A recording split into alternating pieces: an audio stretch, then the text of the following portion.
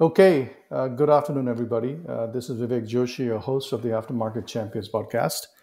And I'm delighted to welcome my good friend Siddharth Madhav to be our guest today. Siddharth and I have known each other for, geez, I think like five, six years now, uh, dating back to his previous company, the previous job he was doing. And uh, we've stayed in touch. We've done some work together, and we keep trying to do some work together. But he's uh, one of the guys I turn to quite often when I want to kind of bounce some ideas or get a point of view in something that's kind of been uh, thinking, uh, been uh, germinating in the back of my mind. And uh, with that in mind, I thought, you know, he'd be a great guy for us to bring onto our podcast because he always has an interesting point of view. He's seen a lot of the world, and I'll explain to, I'll have him explain to you what, how he's seen a lot of the world.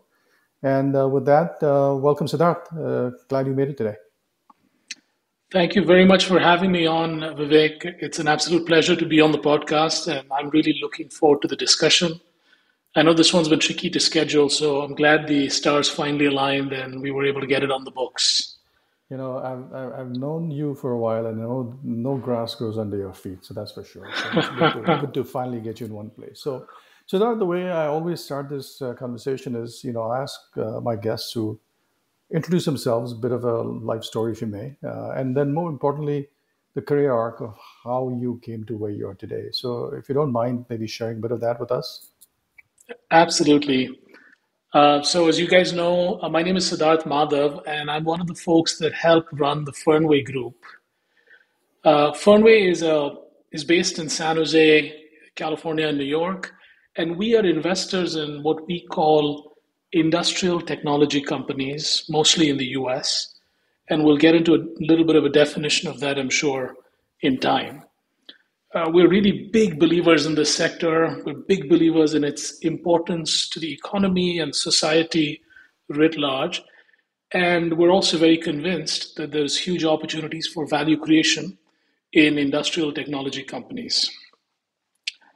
Uh, before my time at Fernweh, I spent the, uh, the better part of a decade and a half at McKinsey and Company. I was a partner in our advanced industries practice and uh, McKinsey was my professional home and where I got my professional and business education. And I really can't say enough good things about my experience there, which is also something we'll get into in a little bit. Um, as you can probably tell, I grew up in India and I came to the US for college. I was determined to be an academic. I spent about a decade getting a very lengthy education, uh, undergraduate and postgraduate degrees in applied physics, engineering, and economics. Um, and then I found myself switching gears, changing ambitions. Uh, I think I realized I did not want to be a tenure track academic, and McKinsey helped me figure out uh, what I wanted to do. You know, that's quite an interesting story. Uh, you know, if you think about the background you had between economics and then, uh, like you said, you got a business education at McKinsey. You know, what I tell people about firms like McKinsey and where I worked a long time ago at Booz and some of the top firms like Bain and BCG is you get an extraordinarily wide and deep education really, really fast. Uh, my guess is that looking at a background in economics and everything else, you didn't exactly naturally grow up in and around manufacturing, but somehow you wound up in that practice. How did that come about? No, you are absolutely correct. Um, I say this often. McKinsey is a fantastic training ground for people with any background, and in particular, my kind of background. Uh, it gave me the opportunity to bounce around offices, geographies, functions, industries, everything from pharmaceuticals to yellow pages to software in South Africa, all true, uh, before I found my home in what I now call industrial technology. And the reason it works so well is there's the apprenticeship model, and there's real commitment all round to people's professional development. And um, you know, as you know, these firms are um, they manufacture they're the, the, the great best leaders in the world, and it's no accident they do it because they really are committed to both the apprenticeship model and uh, you know people's professional development. You know, the thing that's unique about those businesses is an incredibly steep learning curve they put you on. Right? Yep. Uh, from the day you walk into the uh, to the office, you're almost always, as we say, billable, which means you're almost always in a client engagement right off the bat. And I don't know about you, but I still distinctly remember uh, many, many moons ago when I joined uh, the consulting firm I was with. I flew to Cleveland, where I was based, because I was living somewhere else, signed the paperwork in the morning, and then flew to Detroit, where I was going to spend the next many months. And my engagement manager picked me up in a cab. And uh, I don't know why that happened, but then literally on the way to the client, I was getting a download on what I was supposed to do. Ridiculous, absolutely ridiculous. But I guess as an economics major, for you to transition to building in and around manufacturing, uh, how did that play its how did that play a role what what kind of things did you do and how did you wind up in the advanced industries practice yeah um, again none of this stuff is is preordained right? There's a lot of serendipity to it. I have many of the same kind of stories that you just told. And it boils down to i think finding your home uh, in a in an industry you understand amongst people uh, who are on the same wavelength as you and who are even more committed, I'd, I'd say, than the uh, than the the average to that notion of apprenticeship and uh, professional development. And uh, it just so happened that after I bounced around uh, all of these sectors, industries, and so on, um, what we call advanced industries, which we'll get into in some more detail in a moment, uh, just felt uh, like a very natural home for me. There was lots of work to do. There's really great people to work with and uh, lots of opportunities to have an impact and make your mark. And for me, that really was super appealing. And that's really the story of how I've ended up where I have. You know, it's always about people, isn't it? It really is. I mean, I, you'll probably hear me say that a half dozen times in, in the half hour we have. Yep. So you wound up in advanced industries practice. That's where our paths crossed uh, because we were fortunate to work with uh, McKinsey. We're now officially a partner, I think, uh, uh in terms of uh, one of the partner companies that they work with. So we got that uh, commonality there. In terms of the work you guys did, how did the whole notion of aftermarket and services wound up uh, wind up on your on your radar? Yeah. So if I if you if you let me, I'll just step back a minute and you know talk a little bit about what I mean when I talk about advanced industries or industrial sure. technology, sure. and then dive in. So industrial technology is a broad term my colleagues and I use to describe companies that make stuff that you can pick up, that you can feel, that you can touch and hold in your hand.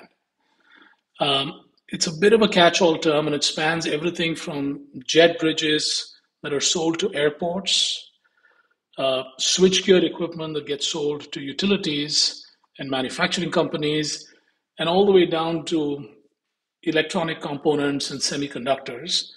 I suppose you'd need very tiny hands to be able to pick up and feel semiconductors. But there's a through line in that, right? Which is making physical stuff, physical stuff that makes the world go round, relatively simple business models, and generally companies that have remained outside of the limelight, and that's a theme we'll come back to hopefully. Within the sector, we led what we call the Accelerated Performance Transformation Service Line, which is exactly what it sounds like. We're trying to help companies realize big, big improvements in how they're performing in a short period of time.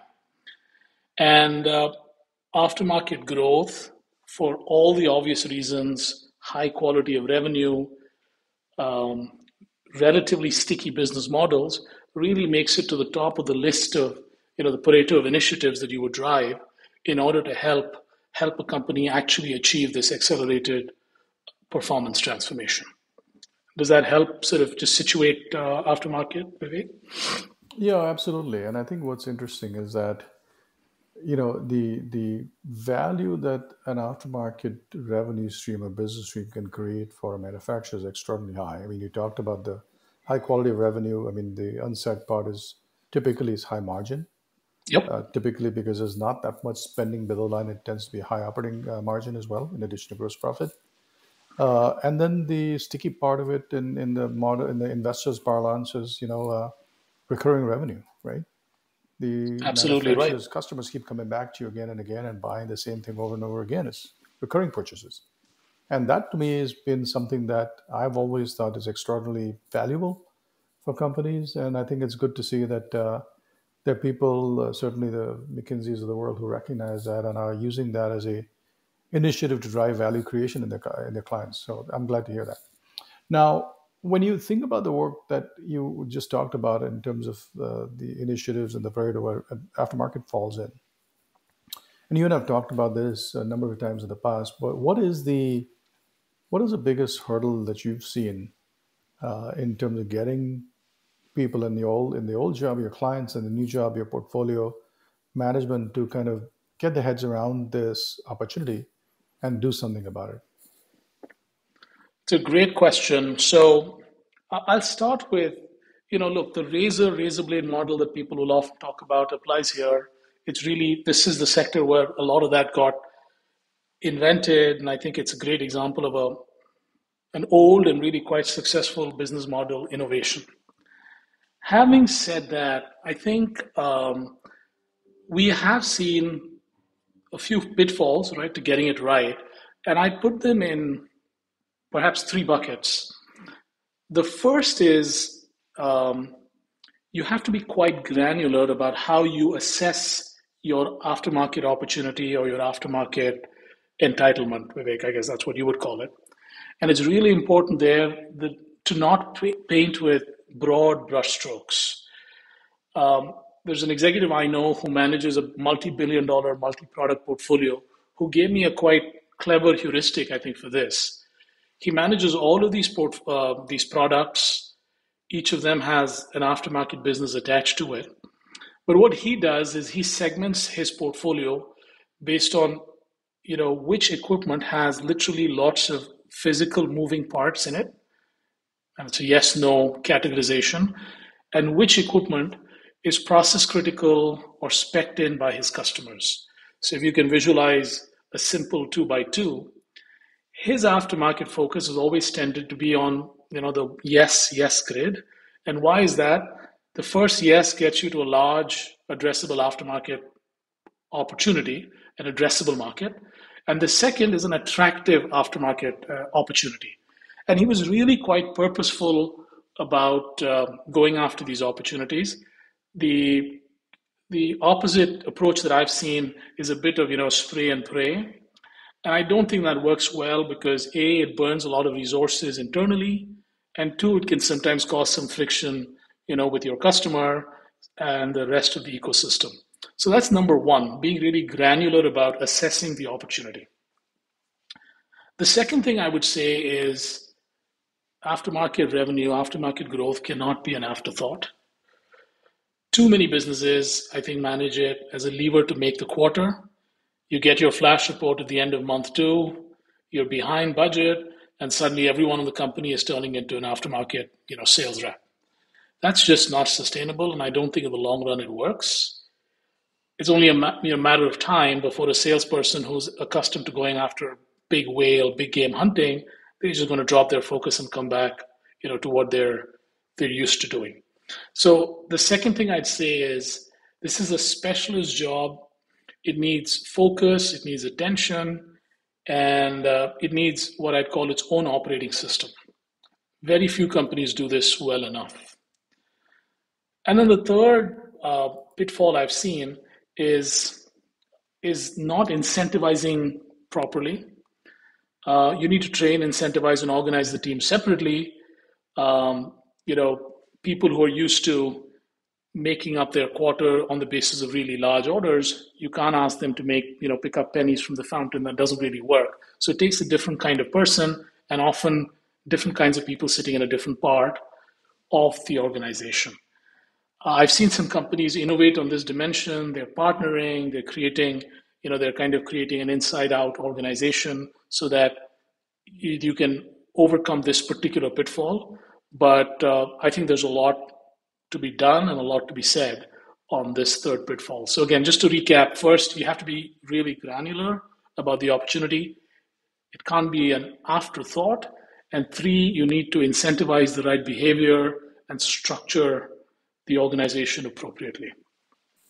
You know, there's something I want to pick up on the latter two items, right? You talked about being an afterthought and you talked about the incentives. And I actually agree with you on that uh, thing, but I, I have a, a, slightly different take on it in the sense that if you double click on the afterthought part of it, and uh, you know lay bare some of the stuff that's uh, bothers me. Uh, the the notion of afterthought has unfortunately resulted in many people and most of these manufacturers not being the right what I would call skill will mix to do what needs to get done in terms of building out a robust business unit, a robust business line.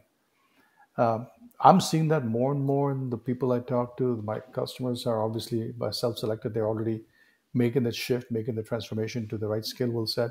Is that something you think is part of the afterthought to forethought transformation, uh, Siddharth? No, I think you're right. I think they're inextricably linked, right? Many of these industrial companies, the the the focus of the business is developing the right solution for the customer. You know, this is years and years of design thinking, trying to solve big, hairy problems. The the really naughty, thorny problems on the aftermarket are quite different, right? It is about making sure you have the right service level, you're able to get stuff on time, get stuff to the right place as quickly as possible. It's just you're solving very different business problems. And I do think many companies tend to focus on the big problems that get the attention as opposed to the uh, the needs of an aftermarket buyer or a spare part buyer in a customer. You're absolutely right. I do think they're they're inevitably interlinked. So then, if you think about the work you guys did at McKinsey prior to that, and this is a great uh, transition or segue to the Fernweh discussion, yep. is you know a lot of what McKinsey was doing is a not just making the business case why uh, your manufacturing clients needed to make this uh, transition to a services oriented uh, forethought business, if you may, uh, helping them make the business process and where possible the people improvements and I mean improvements the wrong word you know, uh, people changes. Uh, you've then carried that over into your new venture. Uh, what, what did you see in the McKinsey work that you guys think is an opportunity for you in the Fernweh side? Uh, it's a good question. It's a good question. So I think first I'd say uh, there's a whole lot of, you know, process management, change management that is critical to actually building this capability. It's a muscle that doesn't necessarily exist and it can be everything from rewarding the right behavior, supporting people with scripts, uh, training them appropriately, figuring out almost in an operate, you know, uh, taking a leaf out of uh, people's operating playbook or manufacturing playbook, uh, having five why, sessions where you're actually figuring out, hey, this script worked, this didn't, uh, why was that? This opportunity resulted in something, this did not, why was that? So really doing it a bit differently than you might, um, I'd say, big deal, uh, big deal desk sales. So that's number one. And number two, I do think um, now just making the sort of switch over to what we're doing here at Fernweh, we have opportunities just given we, we have there's capital and capability, which we'll talk about, uh, to actually work with companies to, you know, partner with them to actually build the business as opposed to purely advising them on how to go about doing it.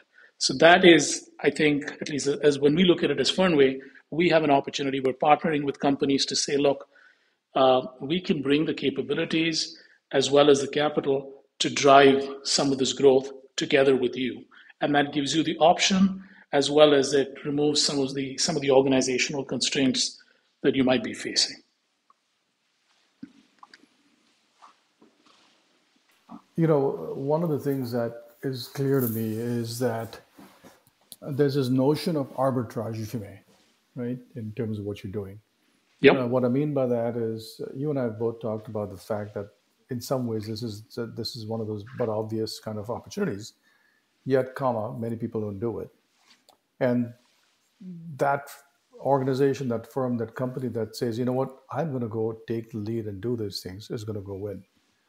Uh, you talked about building muscle, you talked about building capabilities. How is, I mean, again, without exposing trade secrets, how is Fernweh going about doing that at both the firm level and at the portfolio level? Yeah, I would say it starts at the portfolio level, right? Obviously, you build out capabilities at you know, at, at the Fernweh level that our portfolio companies need. Um, the first step here is, again, like I said, not painting with overly broad brushstrokes. Within our portfolio, there are certain companies who have a certain type of aftermarket opportunity, just bringing it back to the aftermarket discussion, and certain others that have different kinds of aftermarket opportunities. So, first, I think, is recognizing those differences and really walking in the shoes of the team that has tried to build uh, build these businesses and understanding what works and what doesn't. Uh, the second thing that we do is oftentimes we will uh, take the effort to carve out people, uh, the right right people, carve out the right um, systems, as well as supplement that you know carved out organization, that carved out group with the right capabilities and capital to to drive it. And that might mean you know different incentives. It's a it's a whole host of things. But obviously, within our portfolio, uh, we have many more degrees of freedom to actually be able to do that. We've also been experimenting with doing this together with, with other companies, right, where we can enter into a joint venture that is really focused on parts and services. This is one we've recently announced um, with a very large industrial company. And those are sorts of models that allow us to, at least in our view, address some of the pitfalls we talked about a little while ago. Yep, absolutely.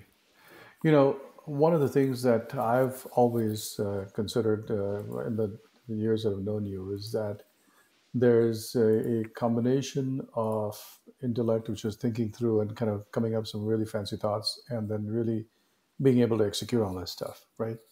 Uh, obviously, the Fernweh bet that you guys made, you and your partners who co-founded the firm, made the bet that you're going to go from an advisor to, uh, I think, uh, owner operator is the wrong word, but I think involved operator, there's, there's, a unique word that you guys use for that, which is really focusing on execution as much as anything else. Um, are you are you realizing that when you get into the nitty gritty of execution, the granular stuff that you talked about, the advice that leading firms like McKinsey, Bain, BCG do uh, versus the, the, tactical stuff that needs to get done, there's a vast gulf in that, in this, especially the aftermarket area, or uh, is that bridge not being too bad for you guys to, to, to cross? Uh, it's a great question, and you might be trying to get me in a little bit of trouble. so let let me. I won't skirt the I won't skirt the question, but first let me say you're absolutely right. First and foremost, very simply put, what we're trying to do at Fernweh is we're trying to taste. We're eating our own cooking, right? Uh, we have to get all of the things that we just talked about, if not all, most of them right, in order for us to be successful, in order for our investors to be successful, in order for our companies to be successful. It's very early days, but I think the signs are quite promising. Um, these are capabilities that we are trying to embed in these companies, and that's critical for their success. But the ability for us to do that is also critical for us in attracting what I call think of as the next generation of companies that will be part of the Fernweh family.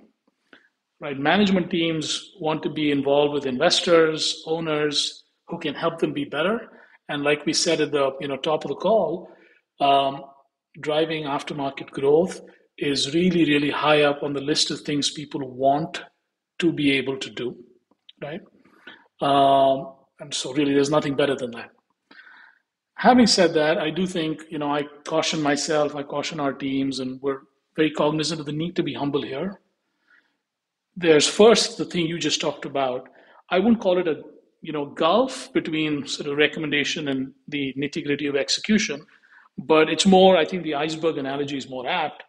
The recommendations are usually right but there's a whole host of things that are below the water line that are just as important in order to actually get things done and get to the right outcomes. So for me it is being more and more conscious of the need to uh, account for all of the the nitty gritty, the minutiae, if you will, um, of execution that you need to get right in order for you know for the for us to be able to get the sort of outcomes we're talking about. That's point number one. Um, the second thing, just on you know this point of being humble, there's a tremendous amount of change that's afoot right now. So you, I mean, there's obviously you have the saturation of, of some of these markets. There are customers that are now moving into a different phase of their life cycle in terms of what they're buying from these industrial companies, and you have to be aware of it.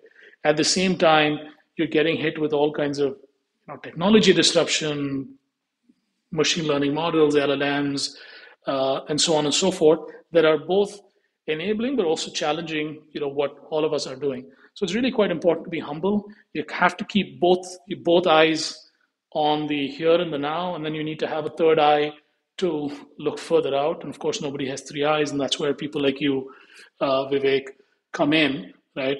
You've got to help portfolio industrial companies really anticipate what's coming down the pike. Yeah, and I think uh, I was I was not trying to bait you into the wrong answer. I think what I what I was trying to get to is that there's what you said the the iceberg analogy is actually a really good one because uh, directionally, uh, uh, practically, et cetera, et cetera, the the recommendations and the work that the folks like McKinsey do is generally actually right on spot. Uh, the difference is when you get to execution, you realize that there's so much more to get done below the surface of the water that uh, you know a typical management consultant won't see because you know unless there's these long standing engagements they're after the next study next engagement and so on and so forth and i think that is a point. and i think there is a secret sauce to what you guys are doing which is being reasonably involved i think uh, involved operators i think that's what you describe yourself as involved operators to kind of help these companies realize the value of what's what they're sitting on and i know the early results that you mentioned to me recently indicate that that uh, that strategy and that idea works now you know, there's there's a couple of things that come to mind when I think about your McKinsey experience in our Fernweh as it relates to what I would call broadly speaking the industrial market. So, that if I were to say to ask you, you know, what would you give a an aftermarket leader or a CEO for that matter of a mid-sized industrial company who neither has the ability to or has thought about bringing somebody like a McKinsey in or does not have the the, the, the good fortune of having a Fernweh involved with them. What would your advice be for them in terms of ex, you know extracting value from the existing franchise they have in the context of the things we talked about, which is really whole notion of aftermarket install based service and so on. What would those things be as a way to crystallize your last uh, 15, 20 years of uh, experience here? It's a great question. Just before I answer that, I should put in a plug for what we call the engaged investor engaged operator model. That's our idea because we want to be engaged in every facet of these of these of the businesses we own or the businesses we help. Uh, we're obviously investing, and we want to take the operator mindset because that, for me, encompasses everything that we talked about being below the the, the water line. Um, to the question you asked about, you know, what what advice I might have for for leaders looking at this. Uh, first, you know, I'll be I won't presume to be able to offer advice, but maybe some observations or thoughts. Right. The first is, as we just talked about a little while ago, there is a quite heavy lift and a different DNA for driving Uh, parts and services growth, aftermarket growth, and so on. The the size of the prize makes it very much worth it but it does take first i think a recognition that you know what made you successful in one side of the business is not necessarily going to make you successful in the other side of the business. Now what that means is i think for some certain larger companies it is conceivable that you might be able to reorganize yourself into a very dedicated fighting force um, focused on on driving aftermarket growth.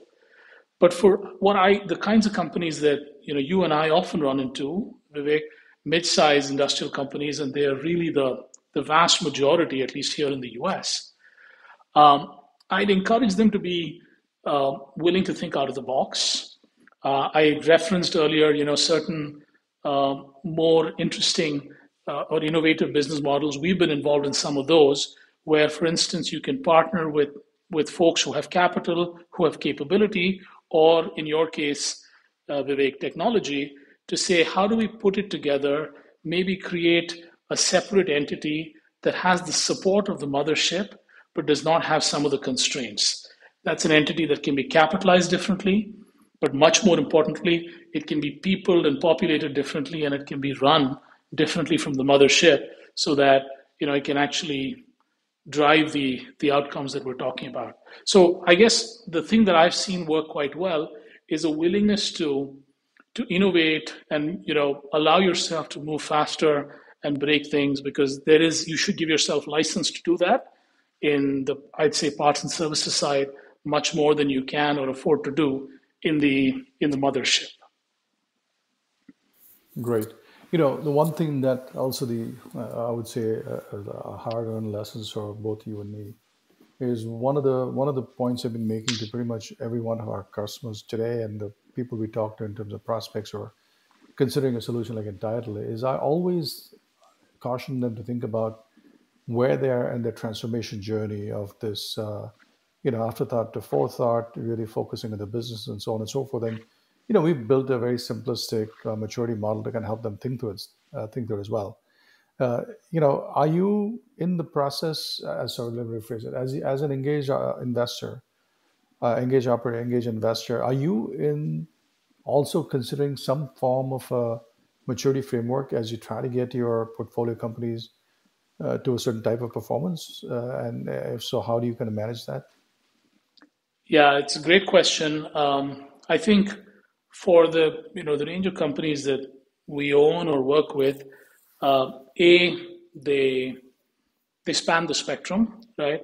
There are certain. If you go back to that uh, the heuristic that I was giving you, there are certain companies where the opportunity is large and attractive, and there are certain companies where the opportunity is large but perhaps less attractive, and so on. I think orthogonal to that is the question you're asking me, which is how far along uh, and how ready are each of these companies to you know to, to get after it? I'd say you know we're being a little bit more casual and stumbling into you know a framework that um, that allows us to put people on different ends of the spectrum or where they belong on the spectrum. But i would say that um, t- two thoughts on that.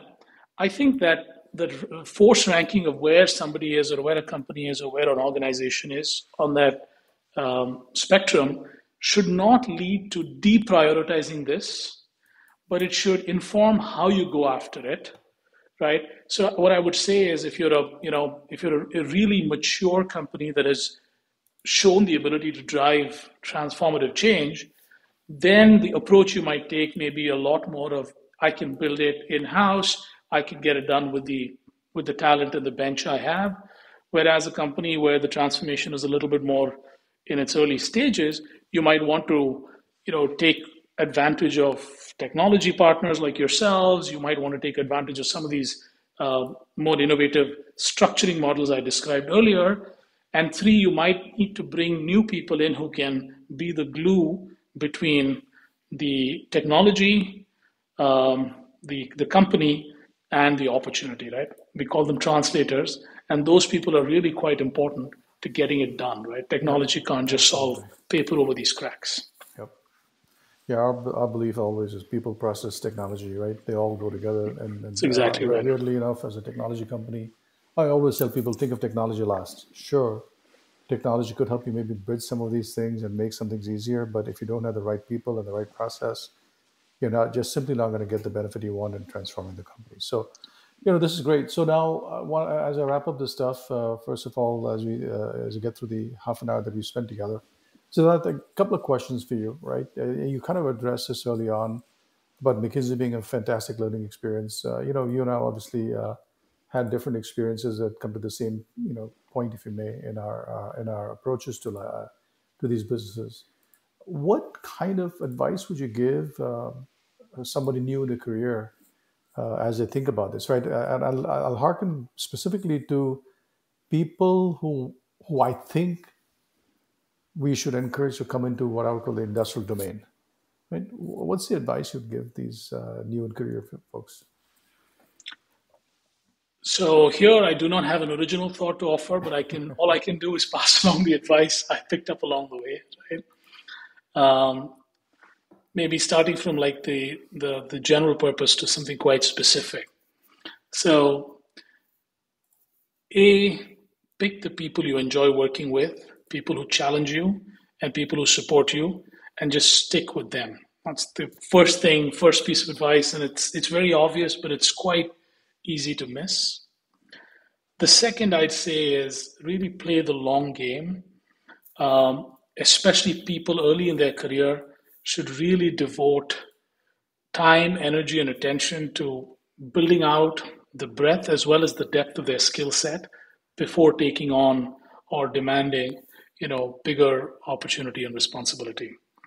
And a related point to that i'd say is you know whatever your near term or medium term goals i advise people to first you know shoulder the responsibility and then expect the recognition of that um, recognition of that to follow. You know too many folks i think get it backwards. They want to be recognized as you know as owners before they take the responsibility of ownership. They want to be recognized as senior folks before they take on the responsibility that comes with that. So i would say first shoulder the responsibility then expect the the recognition.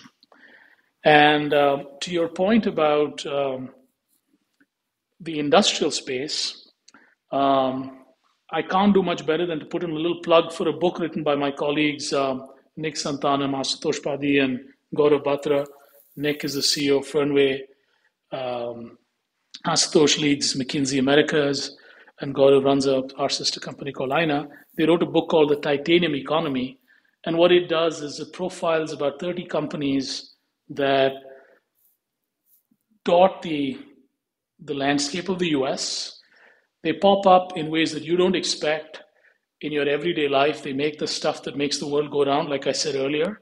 And I'll bet that most people haven't heard of any of them. But these are incredible companies that make incredible product, create incredible jobs where people need them, and actually have made a ton of money for uh, for their shareholders. So I just encourage you guys to go read the book, The Titanium Economy.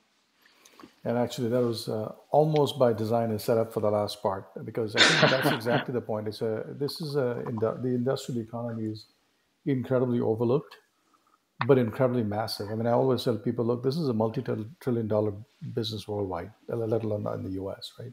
Yep. And you know, those who pay attention to it uh, when nobody's paying attention, it are the ones who are going to reap the, you know, what I would call the abnormal benefits, abnormal uh, wins, if you may, in the sector. So I'm with you on that one. I'm, I always tell people like, look, sometimes it's good to wind up in these industries nobody's paying attention to, because you can quietly go about doing your work and, and get there. And you know, one one last thing, in acknowledgement to your points to early career people. You know, I say the same things to people in our company. We got a, tons of young, uh, new new in career folks, and I tell them something slightly differently, right? Which is, look, go deliver what you've been sign, signing up to go deliver, right? Meet your commitments.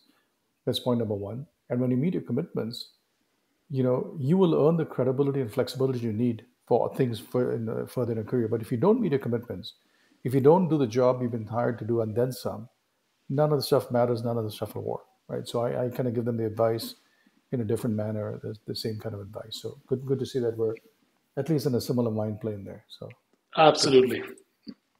Well, Siddharth, this has been fascinating. Uh, I really appreciate your time today. Uh, this has been great learning. I hope we kind of uh, the folks listening to this will get some really good uh, ideas, uh, especially the ones you talked about towards the end, uh, advice to other companies in this sector. But really, it's about being able to understand that you know this is a very very specific thing you need to go do. Be granular, don't make it an afterthought, and then really focus on the nitty gritty details of how to get this thing done. It really is what's going to separate the the winners from the posers, as the kids would say, right? So uh, fantastic. Again, thank you very much, uh, Siddharth, and uh, we're looking forward to uh, doing some work together here. Thank you very much, uh, Vivek. Uh, thank you for everything you're doing, and thank you for having me on this conversation. Really had a great time. Awesome. Thanks.